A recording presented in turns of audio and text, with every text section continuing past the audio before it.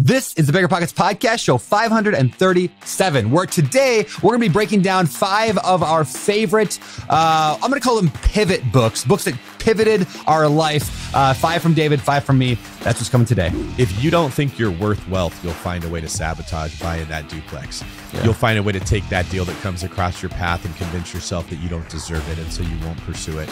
Um, and it's a struggle I think a lot of listeners are in. So I'm not saying that that book is a cure all for everybody, but definitely the questions that book made me ask myself is there really something wrong with me? Or Uh, did I not get something that I needed earlier that instead of crying about it every day, I can actually go take steps to get it now will help you get over these hurdles that you watch other people accomplish with like seemingly effortlessly. What's going on, everyone? It's Brandon Turner, host of the Bigger Pockets podcast, the show where it's our mission to teach you how to become financially free through real estate. Because here's the deal we believe real estate investing is the number one greatest way for the average person to build wealth in our world today. I love it. I've been doing it forever. David here's been doing it forever. And not just us, we prove it to you by bringing you stories of people who started out right where a lot of you are right now. And they applied like this this info this simple but not always easy but simple lessons uh, from the show especially like the ones you're going to learn today uh, to provide for their family to quit their job or to just to make working that nine to five job optional so if you are just starting out you're probably looking for the right book or books to help get you plugged into the correct mindset i'll also say there probably aren't two better qualified people to teach average people how to build wealth than brandon and i because we are both incredibly average incredibly average uh, maybe even a little below average in my case. That's okay. We made it. We figured it out. So today, Brandon and I are going to break down five books or more that had a big influence on our mindset and the direction that we took to get further into investing in real estate and to build more wealth. We're going to talk about how they influenced us, what we learned, maybe what we were like before we read those books and how things changed afterwards and how they helped determine the direction that our life would take to get us where we are now. I've got kind of a huge, big announcement to make a little bit later in the show. So hang tight for that.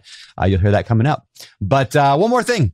Uh, if today's show gets you pumped up about books and you're a book reader and you like books, so the Bigger Pockets bookstore has a huge sale going on for Black Friday and Cyber Monday but it's only through November 29th. That's tomorrow if you're listening when the show comes out. So go to biggerpockets.com slash sale to get the 60% off with some items as low as six bucks. That's biggerpockets.com slash sale to take advantage of Black Friday and Cyber Monday deals while they last.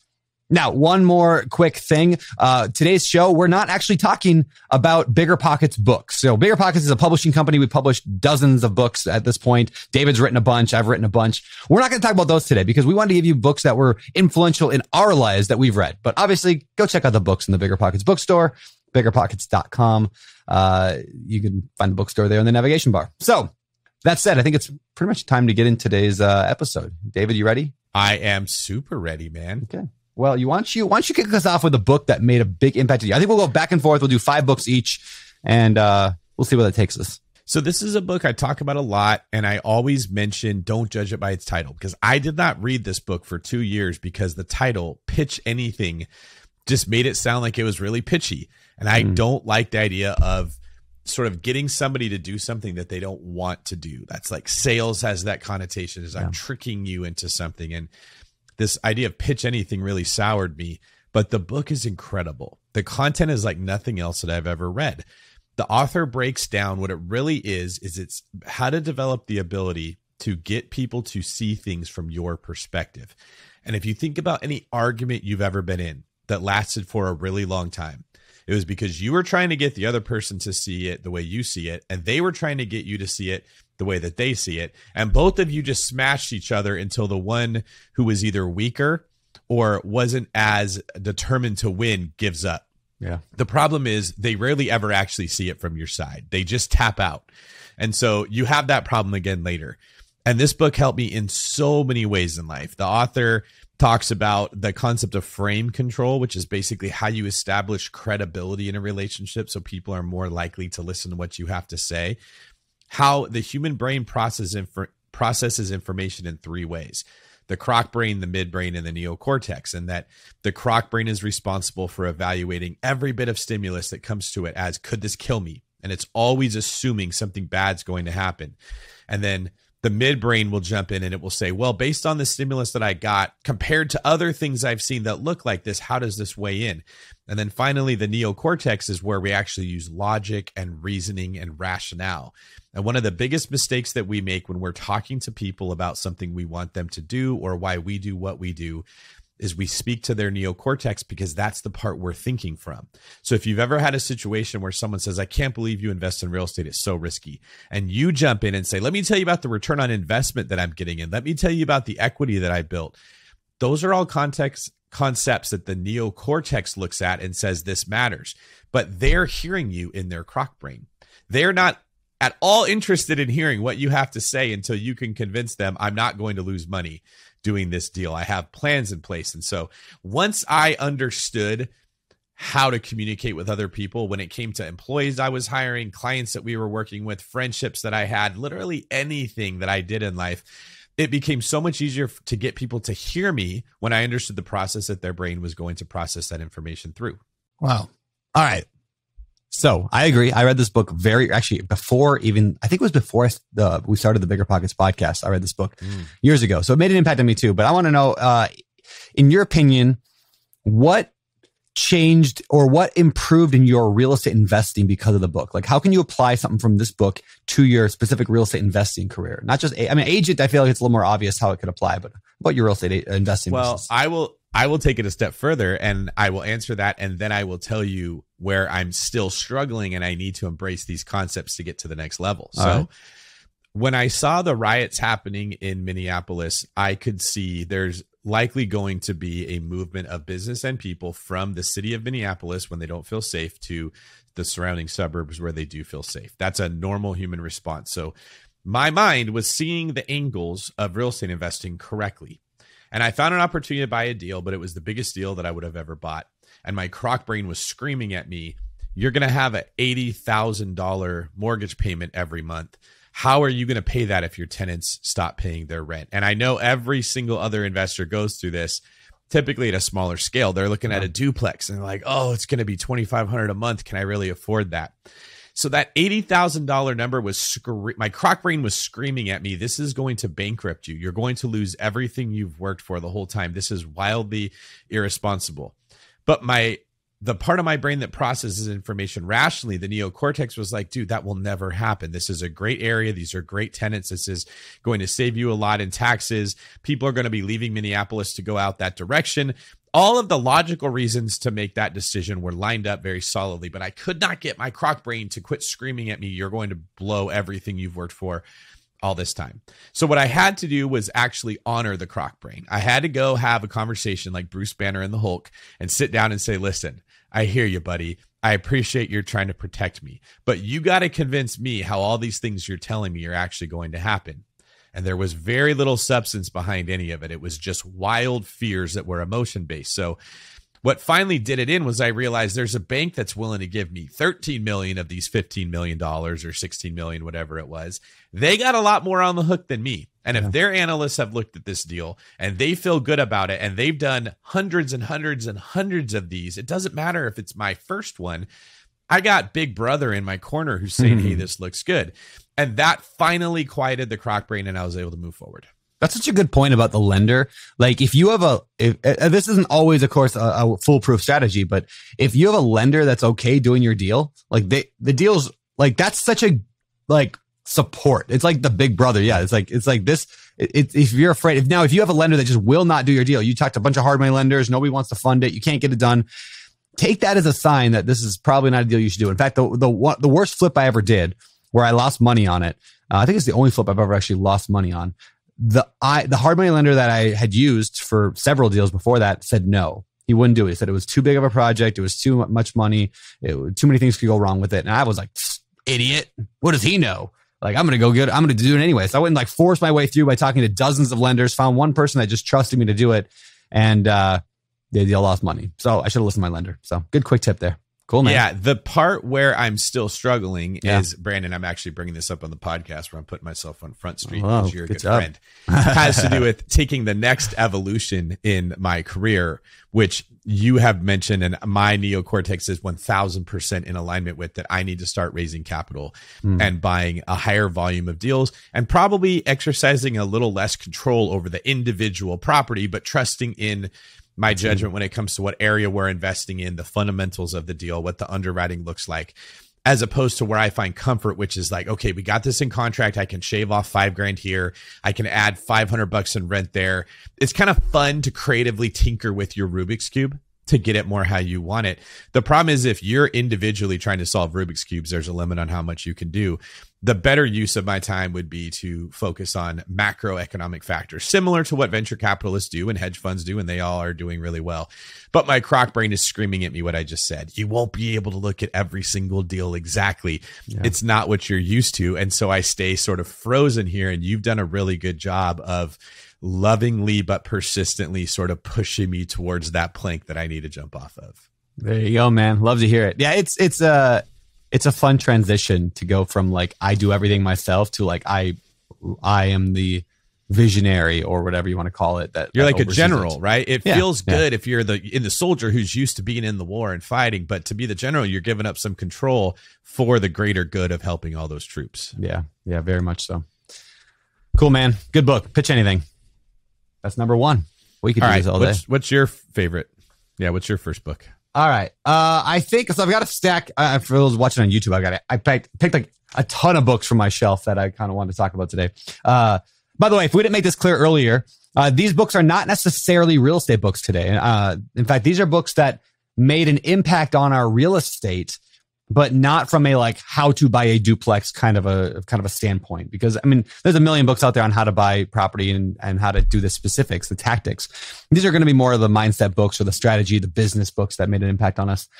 So I'm going to start actually at the end of my journey. So there were different books that made a big pivot on me, and I'll talk about those later. Things like Total Money Makeover, Rich Dad Poor Dad, stuff like that. I'll talk about that later. I'm going to start at the very end because this uh, ties to the uh, announcement that I wanted to make. Uh, and there are two books that I'm going to combine into one book for our purposes today. I'm going to cheat here a little bit. Um, the first one was called Lifeonaire. Life and Air. It's like the word millionaire, but with the word life in front of it. Lifeonaire, uh, by Steve Cook and Sean McCloskey. And then the second one was called The Ruthless Elimination of a Hurry uh, by John Mark Comer. Now, both these books have a little bit of a, a spiritual background to them. Like one of them is actually written by a, a pastor of a church uh, or a former pastor of a church. Uh, I think the Elimination of Hurry one was. Uh, but they they both have a similar theme, and that is and like so the ruthless, ruthless elimination of hurry i just read uh, life and i read a few years ago but they both have the same theme and that is life is meant to be more than just building wealth for wealth's sake it's more than just hustle it's more than just grind until you're too old to enjoy it uh, it's about really stepping back and looking at your life as as a temporary thing that we want to maximize and have a good one and not just be miserable all the time. It's really like it's just a a, a, relief valve on your life. It's like when, when a hot water heater gets right too hot and it's going to blow up. It's got this relief valve. It's like, psh, like that's what these books are to me. They were like, oh, let's Mm. step back a little bit. So do you like that analogy? That's a pretty good metaphor, right? That was I don't know the difference between a metaphor and analogy. You know, I don't, I don't know know either, but I know it when I see it. okay.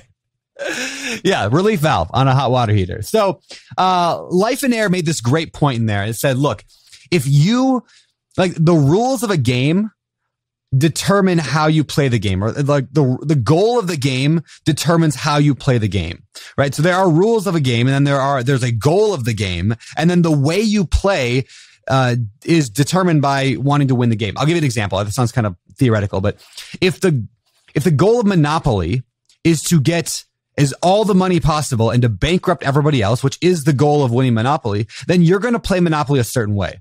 But what if the goal of Monopoly was actually to get as few properties as possible in that game? Well, then you would play differently, right? You wouldn't buy property. Or what if the goal was like, just don't buy a railroad? If that was the goal of the game, you would play a different way. Uh, if the goal was to always make sure you come in second place, you'd play a different way, right? The, the, the goal of the game determines how you play the game. And so the book Lifeonaire asks the question, what is the goal of life? is the goal of life to make as much money as possible? I think all of us would say a resounding no. Then why do we play a game? Why do we play the game of life as if that's the goal? And so when you start thinking, what is the goal of life? What is my purpose here? You start thinking, well, it's, it's to have the life, best life possible, the most fulfilled life possible. That's different for everybody. But all of a sudden, then it's not the, the rules change or the, the way we play the game changes. And so it just, it was a, it was a really mind opening book on, on that.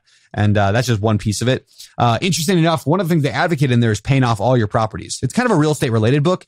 And like they really advocate paying off all your properties. And I have not taken that necessarily and run with it all the way but I understand the concept. Again, if the goal of life is to get as rich as possible, do not pay off your properties. You shouldn't. Why? Because it's way better. Leverage is way better at building wealth than by paying cash for all your properties. Uh, but if the goal of life is not to get as rich as possible, the goal of life is instead is maybe to be secure if that's one of your goals or to have no risk or to never worry about losing things, then mm-hmm. the rules change. Maybe you should pay off in cash. So I guess that's another tangible example. And then, uh, the ruthless elimination of hurry is just about how our in our society today, it's just rush, rush, rush, hurry, hurry, hurry, do more, do more, say yes to everything and, and just kill yourself. And he offers a few like anecdotes to that. Anecdotes? No. What's the word? Antidotes. Antidotes to that. Uh, one of them being like a morning, like miracle morning, kind of a silence time is taking that time every morning to just be alone and quiet and silent and to plan your day and think and study. And I love that. But the second thing he talks about is taking sabbatical or taking extended breaks from your life, from the busyness of your life. Uh, and that is something that I am going to be putting into practice here in the coming year. So uh, I've been doing the Bigger Pockets podcast now for nine years. This is the 10th year we're coming up on uh, of me being the host of the Bigger Pockets podcast. And so for the first time in nine years, I'm going to be actually stepping away from the Bigger Pockets podcast uh, for kind of an indefinite time. I don't know what that looks like for me. I'm kind of leaving that open. Uh, I don't. I mean, I love Bigger Pockets. I love everybody here. I love David. I love Scott and the whole company. But I just the more I, I read that book, the more I realized, like, yeah, I want that. I want more relaxation. Like I, I moved to Hawaii so I could surf and I don't surf. Like I just don't do it. Uh, like maybe once a month now I'm getting out, if that. And I'm like, well, well, the point of life is not just to do more and more and bigger and bigger and bigger. So, uh, yeah. Anyway, so David, that's uh, that's my gist. Any, anything you want to add on that one? I know you've been kind of along for this last few months of my mental journey going through this decision.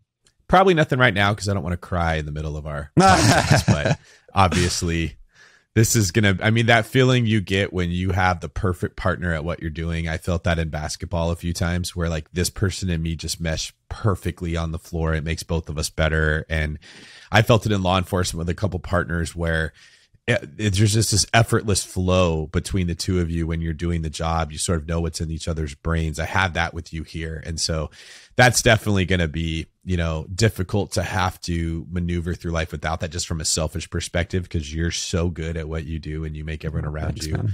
so much better. Um, I'm really hoping that we maintain the uh, relationship we have where you're one of the people in my life that I actually trust when you give me advice like we said earlier like David this is the next career move that would be best for you that you're still able to do that because there's not a lot of people in my life I trust with that influence over me. And you're one of the few that I would say unequivocally, Brandon and I have a relationship that's equivalent to I give you, I would give you all of my passwords to every account that I have. I would give you the passwords to my bank accounts, right? Like when it comes to both the practical things like that and like the sort of uh, emotional top secret clearance that I would give in my life. I trust you that much. So uh, we're all going to miss that impact that you have on all of us, I'm sure. But um, I'm excited for what other ways you're able to impact humanity in a similar fashion.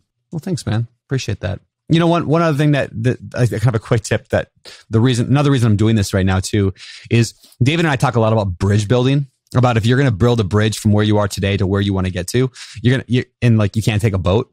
Like the more bridges you build, the slower they build, right? The slower it takes to get there. In other words, don't do so many things. And so right now I've got this company Open Door Capital and we bought a couple hundred million dollars of real estate in the last year. I think we'll hit 300 million by the end of this year, uh, which is by the time this episode even airs, which is just in, insane. Uh, but I've raised now over a hundred million dollars from investors and I'm like, shoot, like that is my primary thing right now. I got to make sure Like it's going really well, but I'm like, I got to make sure my focus is there as well. So I would encourage anybody to listen to this too is ask yourself, mm-hmm. are, is there anything in your life that you're doing right now that you love, but maybe is slowing you down or diminishing your chance of success on something that matters more? And that would be the question I just posed at everyone. And for me, the answer was, yeah, like right now, the podcast, like this open door capital is the thing that I need to make sure works no matter what, because there's a lot of investor money at play here. And uh, we've got some pretty big goals and a big team. So that's it, man. Uh, well, it's also it for that book. It's going to make you a better investor yourself by doing more of this, which ultimately gives you more to give to the BP audience. Yeah, I hope so. I think uh, it's been a fun like the last couple of years of building open door capital has been fun because I like I develop a whole new skill set that I can now teach and talk about. So uh, hopefully when I come back from the mm-hmm. sabbatical and start talking about this stuff more, uh, we'll uh, I don't know figure out what comes next. But uh, yeah, man. So yeah, I don't want to dwell on this all day long, but yeah, Lifeonaire slash the well, ruthless elimination of hurry. Good books. Also, something that you mentioned about Lifeonaire that I think is worth uh, highlighting. It, it's a book that regardless of how you interpret it, at its base, what it's saying is there are rules to the games you're playing. Are mm-hmm. these, is this the game you want to be playing? Yes. And I want to highlight that for everybody here, you're in somebody else's game. Okay. And that's not like, I'm not saying you're a victim, re- rebel against authority, become an anarchist. It's just how life works. The tax code is a bunch of rules dictated by the yep. government that determines where they want people to invest money. That's all that it is. If you make money in this way, we tax you this way. If you do it in that way, we tax you a different way the sport you like. They tinker with the rules every single year to make the game better for that business. So the NFL realizes the more points we score, the more popular we are. Let's make it the change the rules so we can score more points. Basketball did this for a while when it was just becoming too dirty. Like in the Jordan era, it was very rough. The the skill of the players wasn't able to be showcased. So they changed the rules.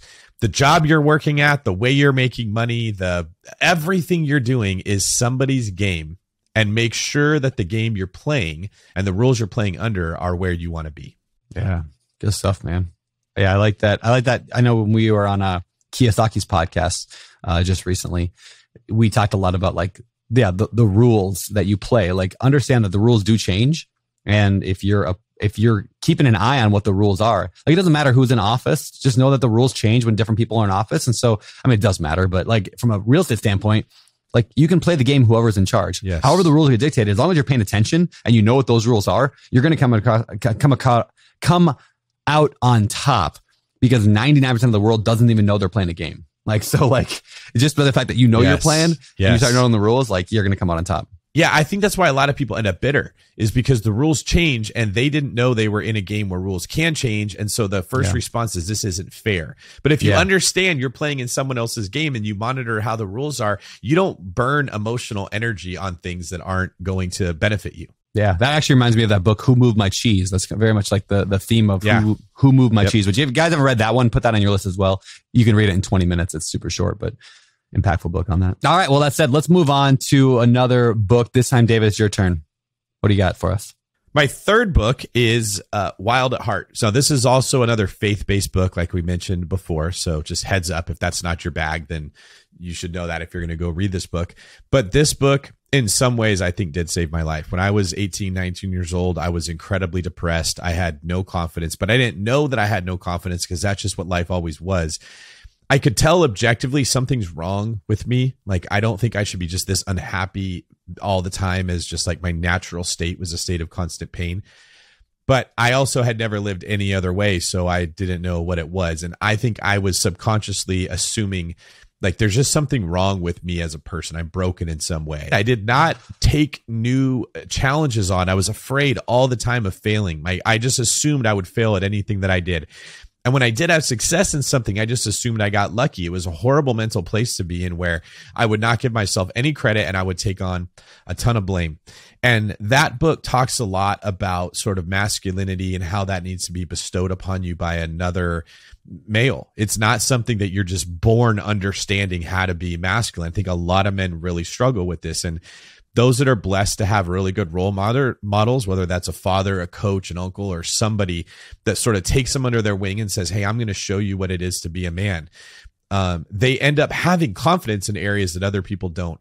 And that book really highlighted that my relationship with my dad was not ideal. It was not normal. And that the reason I was feeling like this was I had this big empty hole inside from not having anybody take me under their wing and show me what I'm supposed to do in life. And so it was incredibly freeing for me as a person that I thought like, oh, it's not that I'm broken inside. It's that I've never been filled with what I need. And it was very encouraging to realize that like like when the doctor can finally say here's your problem right? You're you're overwhelmed yeah. by your symptoms but here's your diagnosis. There's hope that it can be changed. And that sort of put me on a journey of purposely pursuing how to work out the muscles that I knew were weak. And that led to my career in law enforcement. And I saw all the ways that I had really good role models that came into my life through that and challenges that God brought into my life to help strengthen me in the areas that I was weak. And then I didn't walk around feeling weak all the time. I actually started to develop confidence like a muscle to work out, which ultimately led me to being in this seat I'm in right now, where frankly, it takes a lot of confidence to be sitting up here answering any kind of real estate question that could ever come your way and knowing that a lot of people are making decisions based on things that Brandon and I say,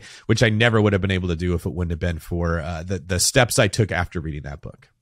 That's awesome, man. Yeah, Wild at Heart made a big impact on me earlier before I even met you. Like back in high school, I think I read that one. Uh, in fact, we named Wilder largely off of, uh, like off of the book. Um, not specifically, but more his nickname. So I don't even call him Wilder. I call him Wildman. Like that's like the only phrase I ever use from him is like, Hey, Wildman. And, uh, that came from a, a, line in the book where he talks about his son. Uh, and when he was mountain climbing with his son or his rock climbing and his son was struggling and he, he called his son, oh, look at that wild man and like gave him this boost of confidence because all of a sudden his identity changed right there. Like he was mm-hmm. not just a little boy. He, his dad saw him as a wild man and he scaled right up the mountain. And I've always thought that was such a touching story. And so anyway, that, like that just became Wilder's nickname is Wild Man. So, uh, yeah, huge impact on my life as well. So cool, man. I think a lot of people in our audience struggle with the, the identity issue that you and I talked about. And that might yeah. be a book you and I should write if you don't think you're worth wealth, you'll find a way to sabotage buying that duplex. Yeah. You'll find a way to take that deal that comes across your path and convince yourself that you don't deserve it. And so you won't pursue it. Um, and it's a struggle I think a lot of listeners are in. So I'm not saying that that book is a cure all for everybody, but definitely the questions that book made me ask myself is there really something wrong with me? Or did I not get something that I needed earlier that instead of crying about it every day, I can actually go take steps to get it now will help you get over these hurdles that you watch other people accomplish with like seemingly effortlessly. Yeah. Yeah. Cool, man. Well, moving right, on. Book number four. Brandon, what you got? Uh, I'm going to throw uh, the book Hmm. Let's do this one. We just interviewed the, the, the two authors of this book recently on the podcast back in the, in the last six months anyway. The book is Who Not How. Who Not How. Uh, this book is, I would say the concept of the book started changing my life before I actually read the book. Uh, cause I had heard of the concept about Who Not How from people who are part of uh, Strategic Coach, which is Dan Sullivan's coaching program.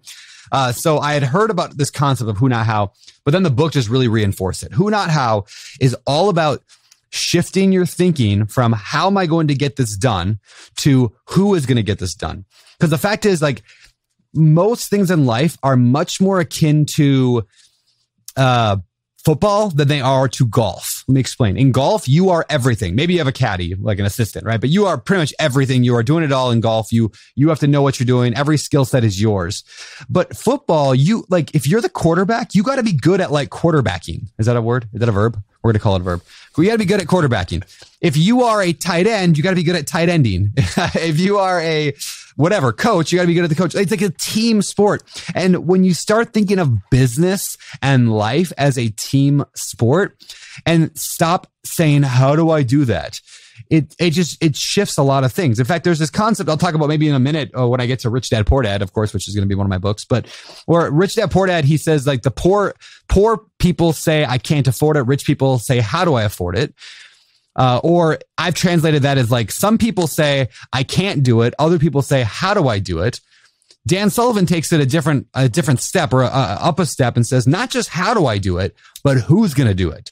Uh, because that's elevates your mindset to a whole new place. So, I my BPCon speech this year uh, at BPCon 2021. I talked about the four levels of entrepreneurship or the four kind of mindsets. And there's like the DIY. I'm just going to go out there and do it. Uh, that's very much like the like just get it done. I can do it myself. Then there's like the kind of project manager. I'm going to kind of like get the job done by like hiring random people to do random things and I'll, I'll make sure it gets across the finish line, but I'm doing everything to kind of make it get there. And then there's like the COO level, which is like, I'm going to build a team and they're going to do it. That's kind of the who, not how principles. I'm going to build a team. And then the final kind of layer at the top of that, the fourth architect, uh, the fourth layer is called the architect. And that's somebody who more like, they might hire one person like they don't go and build a team. They don't go build a business. They're not writing a business plan. They oversee the whole thing. These are the Richard Bransons of the world or the David Osbornes of the world. Uh, or even to some degree, like in, in a smaller way, David and I, in some areas of our life, try to approach business from this standpoint. If I was going to go start a, uh, carpet company today, I wouldn't go and hire a whole team. I'd hire, I'd just go buy a carpet company. That's kind of an architect role. Uh, in my writing though, in my book writing, I'm a DIY. David, you are a DIY when it comes to book writing. So am I because, and there's nothing wrong with that, but just it's understanding that. So anyway, that's enough on who not how, but who not how is just a concept of elevating your mindset to stop asking, how do I do this myself and start thinking, how can I get people who are better equipped to do this to do it? And that I would say is the number one, number one reason for the incredible success we've had at Open Door Capital over the last few years. The number one reason David's had such success at his mortgage company, uh, and uh, everything I've seen you, David, your agent business do is because you adopted this long before I did. So yeah, who not how. Thank you. Yeah, man. Anything you want to add on that? Um, I would say, yeah, here's what I'd say regarding the who not how thing. What I really liked that you highlighted was that it's not the best way to do it or the only way to do it is a way yeah. to do it. And there are pros to doing it that way and cons to doing it that way. And it's totally fine to operate that way in certain parts of your life and in other parts of your life to operate on the do it yourself model, right? Like we write our own books. It is painstakingly slow. Newsflash, yeah. everybody. Not every one of the books that you've read in your life were actually written by the author. yeah, I know. Um, yeah. And that's very similar to how Brandon probably felt the first time he realized Justin Timberlake doesn't write his own lyrics. I, I was Brandon actually was when I when JT I discovered fan. No, I was not a JT fan, but when I discovered that most country musicians, almost all of them, don't write their own music, I was just like blown away. In fact, one of my favorite bands in the world, uh, I won't mention who it is, but one of my favorite bands in the whole world, uh, a buddy of mine who like, anyway, he, he know, knows the industry. He's like, oh yeah. He's like, the vocals are the only thing on their album that's actually them. He's like, even the guitar, the drums, they didn't play their own drums for the album. They didn't play their own guitar. It's all outsourced to professional musicians. They just play live. They don't even record the album. I was like, it was my heart was so sad. I was like, oh, they were my favorite bands in the world, and they don't even.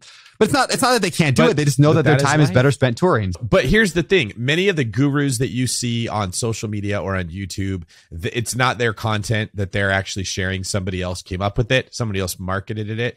Um, it's okay as long as it benefits yeah. you. As long as you like the music, that's all that matters, right? Who gets the credit shouldn't be as important. So when it comes to like why a lot of businesses fail, it's because when they're on a who not how model, which most businesses are, you kind of have to do trial and error to find the right people to make it click, right? Mm-hmm. My mortgage company is doing incredible right now. This is the fourth person that I tried to build that business with. The first 3 mm-hmm were meagerly, moderately successful, but weren't what they were. So I had to keep trying. Your favorite sports team is continually trading for players and drafting players and getting new coaches and tinkering with that Rubik's Cube until they'll, until they get it all lined up just right. So when you're in the who not how model, give yourself some time and some patience. It tends to scale faster when you get it right, yeah. but it takes longer to get it right versus the do it yourself model, which you immediately start making progress right off the bat. That's good. Yeah, I started. I mean, Open Door Capital. We actually started three years ago. Uh, it took the first year mm-hmm. just to mm-hmm. build the team, to figure out who I wanted, who who was the right fit in, and who was the right fit not in, yes. uh, or the wrong fit. And so then once we had the people on the bus, then it became a rocket ship. Uh, but it wasn't until we. So yeah, getting through the who, getting the right who's is the hardest and most important job most people could ever have in life other than being a parent. But it's it's incredibly difficult to find the right who's, but they'll make the biggest impact on your life. So there we go, man. All right. Well, moving on. Yeah. Uh, David, what's your uh, what's your next book? My next book is Extreme Ownership by Jocko Willink and Leif Babin. I immediately fell in love, if you can say that, about a book when I read this book. It had a huge impact on my identity, you could say. Brandon, you talk about how when you read Rich Dad Poor Dad, you were like, yes, that, that, that's what's been inside of me this whole time. And I'm finally yeah. finding a frequency that is, that resonates with the frequency inside me. Yeah. That's what happened when I read Extreme Ownership. It, it, it gave me permission to say, yeah, there's a part of me that thinks this way and I'm going to let it out. I'm not going to play small and hold it back all the time. And the basic philosophy is that if you're the leader, you need to look at everything like it's your fault. You cannot say that's not my fault. If you own the restaurant, and the chef makes a mistake, that is not the chef's mistake. That is your mistake for hiring that chef or training that chef or not having better quality control on that chef. If the chef does everything right and the waiter gives a bad uh, impression to the guest. That is your fault. So many times in life, it's the shortcut is to point the finger at someone else and say, well, the contractor messed up, the CPA messed up, the somebody else messed up. It's not my fault. Yeah. But if you're the leader, it is your fault. And what I've loved about this is when you embrace everything from that perspective, when you just assume it's your fault, you get better every time a mistake is made the waiter who doesn't embrace it was their fault, they should be practicing extreme ownership too. There should be an argument between the two of you over whose fault it really was. Mm-hmm. That's what a healthy relationship would look like. If the waiter's like, yeah, you never trained me how to do that. That's not my fault. Like I just showed up to work and did what you said. They don't get better the restaurant owner will get better. And when you're continually having things that get you better every single day, several times a day, over a five year period, it makes a massive impact on the type of success that you're ultimately going to have. You know what? What is interesting about that? You brought up relationships or like you know business ones, but also in the personal relationship is true also, right? Like when you take personal responsibility and ownership of your like marriage or your relationship with your significant other, like it's amazing what it do- does to make them take more ownership as well. And so, like, for example, like, if, if my wife and I are like arguing about something, no, I want to do it this way, I want to do it this way, or, or something goes wrong, or, or we forget something and it's a big deal or whatever. If all of a sudden, like one of us shifts to, you know what, that was stupid. I messed up. I'm sorry. I was the idiot there. What's it automatically make the other person do? No, no, honey, no, no, no, I, no it, was, was me. I, it was my fault, right? But it's because all of a sudden you're not pushing anymore. You pull back and then the person, I don't know. It's just, it's such a, I, I, one of the biggest reasons are things I see in failed marriages and relationships that are struggling is just the selfishness of like it's not my fault. It's their fault. It's always the other person's fault. Uh, i was actually getting on an airplane the other day and the guy behind me in line was a bigger pockets guy. Shout out to a guy i can't remember his name. Uh, but uh, he he we were just like chatting down like the jetway whatever it's called like onto the plane whatever that long tube is mm-hmm. to get on the plane. And he goes he goes I, have a weird question for you. He's like I, you know you've answered a million real estate questions but do you have any marriage advice? He's like, I'm getting married soon. And I was like, oh, he's like, I was like, well, the best advice anybody ever told me, and I'll tell you guys right now, is that if you are in a marriage or relationship in which each, each of you give 50% and you meet in the middle, like, you know, hypothetically or whatever, like this is a metaphor, but like if you meet in the middle, you have a perfect marriage. If you put 50, they put 50, you're at 100%, good for you. But the minute that one person is at 49%, now you have a hole in your relationship because one person's at 50 and one's at 49. You have a gap in the middle. You have a problem. And if that person's at 40 one day and the other person's at 50, now you got a big gap right there. The difference though is, and I, I wish I remember who told me this. They said if you gave a hundred percent and the other person gave a hundred, first of all, by giving a hundred percent, which is the extreme ownership model, the other person could give 1% and you would still have a perfect marriage because or a perfect relationship because you've given entirely. Now you still be connected. You still be connected. Yeah, you still be fine. Like yeah. Now that said, you wouldn't, you can't have a hundred percent and one percent because, well, maybe there's some psychopath out there that won't give back. But if you're given a hundred percent, like your significant other will also, it's that same principle I just said. If you, if you're like, no, honey, it's my fault. They're going to be like, no, it's my fault. That's generally how most people, if you're, if you're sincere about it over time, that's, so anyway, that would be my advice, uh, in any relationship is give more than 50%. Don't meet in the middle. Give a hundred percent. Give till it hurts. Don't be selfish. Uh, and take ownership of the stuff. You're, you're in charge. You're in charge of your life and the outcome in it. Uh, and so if something's not good enough, if you're not, if you're not happy, if you're unsatisfied, you can fix it. You have the power to fix it. It's your fault, your responsibility. Mm. Make it happen. David Greene Good choice of a book. That was a great one. So everybody needs to give their spouse extreme ownership and say you need to do a better job of taking responsibility. Just kidding. Just kidding. Don't do that. Read the book yourself, set the example, and then they will follow. Yeah. There you go. Cool, man. All right. What else we got? I'm not married, but that seems like an amazing way to mess up a marriage. That's really funny. It's like buying somebody else a gym membership for New Year's Eve and saying, "Hey, you really need this, and I wanted to do you the favor of buying it for you." That's funny. That's exactly what that is. All right, next All right, book. what's your next book, Brandon? Yeah, I'm gonna go with. Uh, I'm gonna combine two again because I like combining books that have common themes. Uh, I'm gonna combine these one. It is uh, Traction and the Four Disciplines of Execution. So Traction is written by a guy named Gino Wickman, and the Four Disciplines of Execution was written by Chris McChesney. We've had McChesney on the podcast, and I believe Traction uh, uh, Wickman from Traction has been on the Bigger Pockets Business podcast. I think it was, or it might have been the Money Pot. I think it was Business BP Business.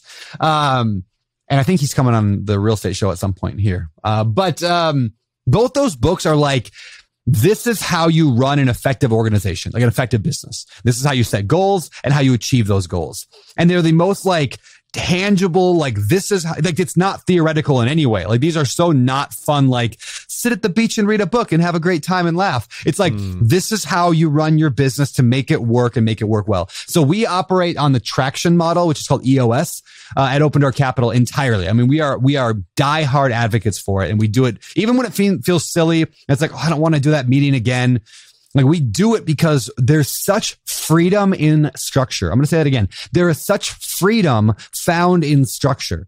So when you're just like, I'm just going to go after my business however I want to, and I'm going to meet when I want to, and I'm going to set goals when I want to, and it, like it feels very like free and hippie to do that. But the reality is it causes way more stress and drama and way more work than if you just have a system that you follow and you're like, no, this is how we do our business. It, like my workload cut from 20 hours a week down to about five when I implemented, uh, implemented traction in, in uh, Open Door Capital. Now everyone else works a lot more than I do, but me being the architect, I don't have to work quite as many hours, but it just, it was such a phenomenal, both those books really, Four Disciplines of Execution and Traction, uh, changed my life in a big way. And that's so encouraging for people to hear that are worried about overworking themselves. Um, I think a common mistake I made when I was younger, and I see a lot of people make, is they assume the version of themselves they are right now is the same version they'll be five years from now, but they'll just have three times as much work. And so people don't give it their best because they're afraid that they're going to end up overworked. But it's just like jujitsu taught us this lesson very well. When I don't know what I'm doing, it takes a massive amount of energy to get the result that I need. The guys that are really good at it don't use very much energy and their body is conditioned to where they have a they don't need as much to accomplish the same thing. So when I'm spending a hundred utilities of energy to accomplish, they're spending two.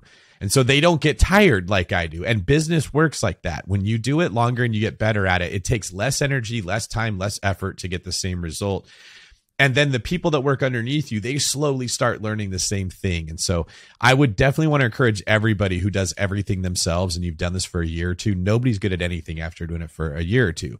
You're not busy, you're just not good at what you do. It takes you too long to analyze a property because you haven't done it enough times. And as you do it more and more and more, you start to get faster and better, see angles you weren't seeing. Like me, I can eliminate properties before I even put it in a calculator. I just know it's not going to work because of these reasons. And I think, Brandon, you're similar. You could just tell right off the bat, nope, that isn't going to work. And this is why move on, don't burn any energy. So books like this, and more importantly, committing to the principles in books like this won't just help you be more successful, but they'll stop you from working your life away while trying to get there. Yeah.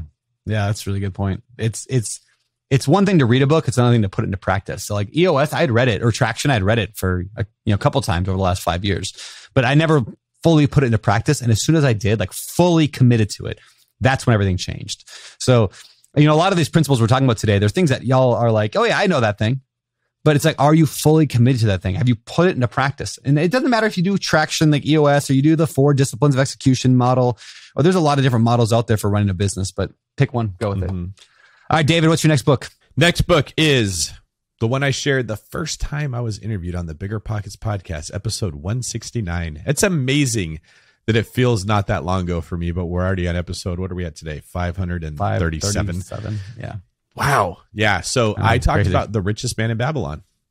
I love the richest man in Babylon. It is most books. I, I tend to be drawn to more complicated and dry concepts. This book is very simple, incredibly easy to read. Um, it's fun. It's just stories basically, but they highlight principles of wealth building that have stood the test of time so, so well. And they can be applied to anything.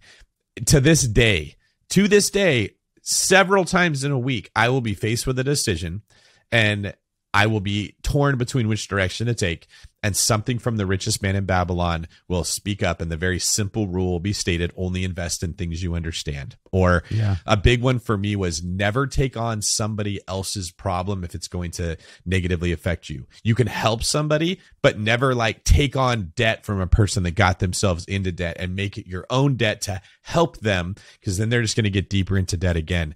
Times I've been tempted to want to do things to help out a friend and I've that book has stopped me from making some really bad decisions. So I mean, anyone can read it. If if you're not even good at reading, you can still get something out of that book. I think they sell it for like a dollar ninety nine right now. It's incredibly cheap. It's just it's a book that I wish every kid was made to read in school.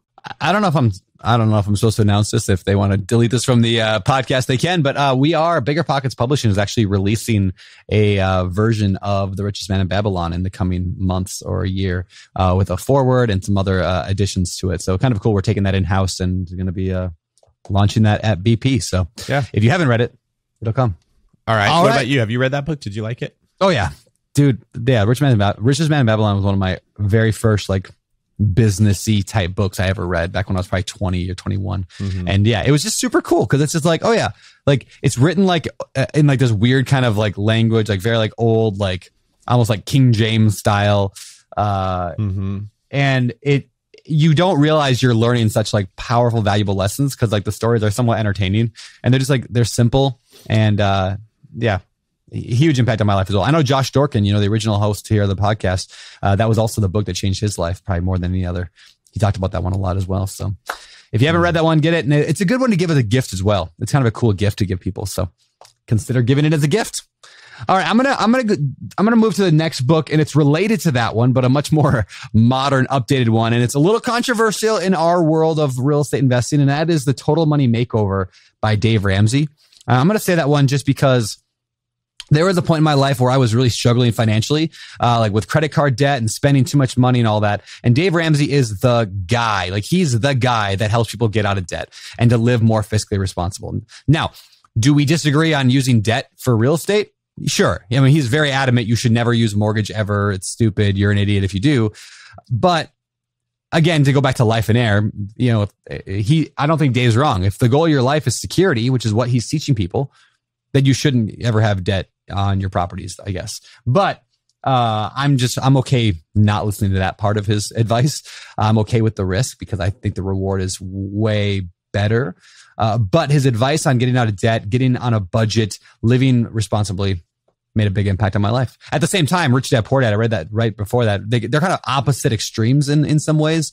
But Rich Dad Poor Dad also obviously made a big impact. I don't need to spend a lot of time talking about that one. Everyone knows Rich Dad Poor Dad is like the book, uh, which was, uh, you know, it really did put words to what I like. I was feeling about life is meant to be more than just a nine to five job until you're 60 and too older and to enjoy it. So that's my, uh, I don't know. Is that my final book recommendations? I don't know. I, that's really like, that's what I came with. Do you got any more to wrap it up with? No, those are my five. I'll comment on uh, Dave Ramsey though. It makes Sure. me sad when people attack Dave Ramsey or Robert Kiyosaki because of a flaw, perceived or real, a chink in their armor. We all have those. Okay. Like there is not a human being that hasn't said something at some point that they wish they could take back or didn't have their perspective changed. I think it's one of the reasons Joe Rogan's podcast is so popular is Joe is humble enough to say, yeah, I used to think this, but now I think that. In fact, if you're growing, you should have your opinion changing. I just posted something on Facebook yesterday that said, I wonder if I'll look back five years from now and cringe at the stuff I'm posting now, like I did at the mm, stuff Yeah. I posted five years ago. Right. Yeah, I, I And-. And the idea is you should, because if you don't, it means you didn't grow. And so Dave Ramsey's advice, I think, is excellent for defense. It's really, really wise. He gives wise counsel, in my opinion, 99% of the time that he talks. And his audience is typically people that use debt unwisely. Yes. They do not listen to podcasts like this. They do not commit to the things Brandon and I say, like analyze deals, get to know a market, build a team of smart people. This advice that we're giving you listeners, they didn't hear. They went out and bought real estate the same way that somebody might buy a penny stock. Like, oh, it's let's just go do it. It's going to do well. And for someone in that position that's not educated, they should not be taking on big amounts of debt. It is a bad idea, and paying it off is the safest thing that they can do, especially if they're playing the game by a different set of rules. Many of his listeners yeah. are not real estate investors. They just own a house, one home that they live in. And Dave is concerned that they're going to get themselves into debt that they cannot pay back. Okay. So from that perspective, it is wise counsel. Now, it would not be wise for someone in Brandon and I's situation or your who's listening to this situation much of the time because debt is one of the tools that we use to scale our portfolio. And the same could be said of Robert Kiyosaki. Uh, there's always something you can find in someone that they did that wasn't great. I don't really care if he did something that wasn't great when I'm listening to the advice he's giving on something he does understand.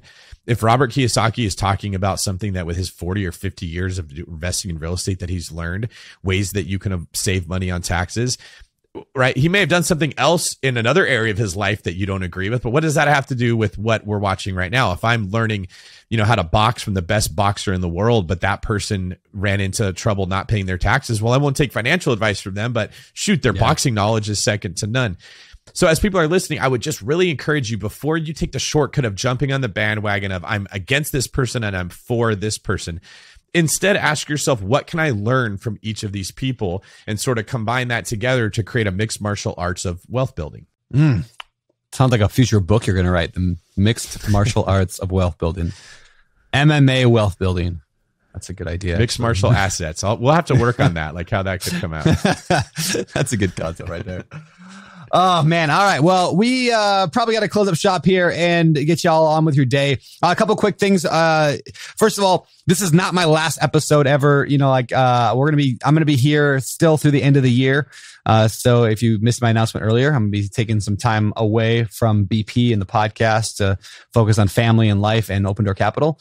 Uh, but I'll be here through the end of the year. I think my last episode will probably be December 30th. We're just giving y'all a heads up.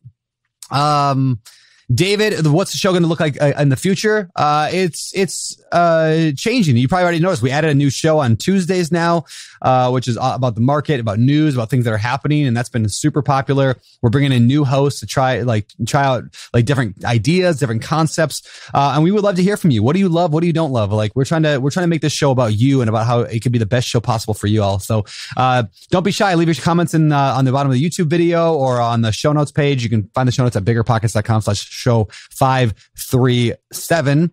And uh, you can email David specifically about your problems at, I'm just kidding. And uh, that's all I got for you. So, uh, David, uh, Actually, you know what? As long as I'm sitting here right now and I have the microphone, I do want to say, if you're watching this on YouTube, at least you've probably seen this giant stack of books next to me. Uh, when we were going to do this episode today, I went and grabbed like every book that I like was like, oh yeah, huge book in my life. Like that was an impactful book. I'm just going to read the whole list right now that's sitting next to me, just in case you're like, oh, what are those books next to Brandon? So here they are. I've got the ones I already talked about today, which is Who Not How, Traction, Four Disciplines of Execution, Ruthless Elimination a Hurry, Lifeonaire, Rich Dad Poor Dad, and Total Money Makeover. Those are the ones I talked about. Here's the ones I didn't talk about yet. The Success Principles by Jack Canfield, High Performance Habits by Brendon Burchard, Profit First by Mike Michalowicz, The Untethered Soul by Michael Singer, The Wealthy Gardener by John Soforic, uh, The Wild at Heart, John Eldredge, The Power of Moments by Chip Heath and Dan Heath, Never Split the Difference by Chris Voss, How to Talk So Kids Will Listen by Adele Faber. And then there's another one called How to Talk So Little Kids Will Listen it's amazing. Uh, changed my parenting. Uh, the Advanced Guide to Real Estate Investing and the ABCs of Real Estate Investing, both by Ken McElroy. How to Win Friends and Influence People by Dale Carnegie. Drive by Daniel Pink.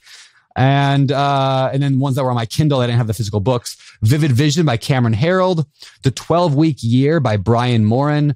The Millionaire Fastlane and Unscripted, both by MJ DeMarco. Those last ones I would highly recommend. I mean, I'd, I'd recommend every one of these books, but the MJ DeMarco wrote The Millionaire Fastlane and Unscripted. And he's got a new book I haven't read yet, but it just came out. Uh, but MJ DeMarco is one of my favorite authors of all time. Very good. So that's, uh, that is my current list of books that'll make you rich. Cool. David. Impressive. That's all I got. Thank you. Well, I will add, I will still be here on the podcast. We will be doing, like Brandon said, different types of formats. So we'll still be interviewing people and asking how they scaled their portfolio, how they built it, what they're an expert in. But we're also going to be doing more state of the market stuff, like Brandon said, as well as sort of coaching scenarios where we take a couple people, maybe three people on a show, and they say, Hey, here's where I'm stuck. And I walk them through what they could do different. And the Seeing Green episodes where you submit your questions directly and I answer those for everybody to hear. Here's what we want. We want to create something that anytime you have an opportunity to listen to a podcast, you want to come here because we have the absolute best content in the world as well as the biggest talent for revealing it. So please tell us in the comments which of these show formats you like the most. We will make more of those if everyone likes them, as well as what you would like to see. Uh, Brandon, I know you're still going to be coming here. And in the meantime, Brandon will be with me in spirit as his bobblehead lives over my head right here with me all the time.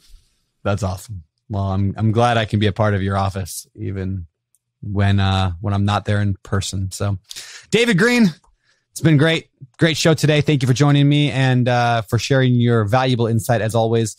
Uh if y'all like this show, let us know. Biggerpockets.com slash show 537. You can leave a comment there or on the YouTube video. Leave us ratings and reviews in iTunes. It helps us a lot to reach more people with the message of financial freedom for real estate investing through real estate investing um, and other wealth building methods. So with that said, I think it's time to get out of this uh, episode. So, David, why don't you uh, close up shop? Yep. He is Beardy Brandon. I am David Greene24 and Bigger Pockets. Follow all of us on Instagram and go find another episode to listen to right now. This is David Green for Brandon Bookstack Turner signing off.